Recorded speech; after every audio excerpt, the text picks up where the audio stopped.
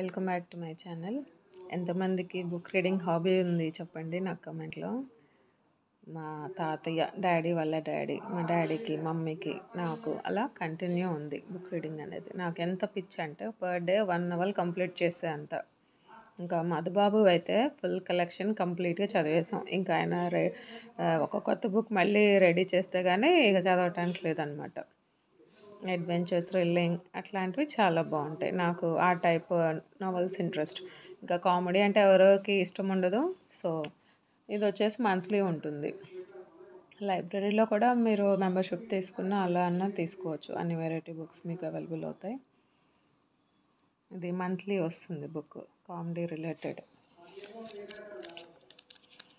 ఫుల్గా నవ్వుకోవచ్చు.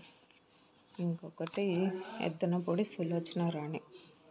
అంతా ఈమె వచ్చేసి లేడీస్ ఇద్దరు ఉండేలాగా అలా వస్తాయి. స్టోరీస్ ఎక్కువ. ఇప్పుడు ప్రజెంట్ లేరు కదండి. కానీ చాలా బాగుంటాయి ఆవిడవి తర్వాత ఇంకొకటి.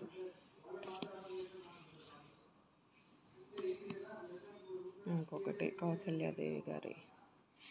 ఇది ఒకటి మాధురెడ్డి సులోచన.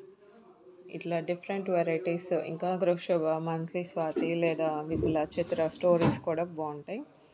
సో మీరు ట్రై చేయండి.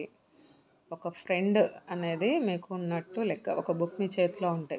ఒక సేమ్ కూడా ఉంది. మంచి షర్ట్ అంటే మంచి బట్టలు లేకపోయినా చేతిలో ఒక పుస్తకం ఉంటే బాగుంటుంది. అదే ఒక మంచి ఫ్రెండ్తో సమానం అని అంటారు. మా తెలిసిన ఇక్కడ అనకాపల్లిలో ఆంటీ వాళ్ళ ఇప్పుడు ఆంటీ ఎక్స్పైర్ అయ్యారు. సో అంకుల్కి అనేది కంప్లీట్ బుక్ రీడింగ్ ఉంటుంది.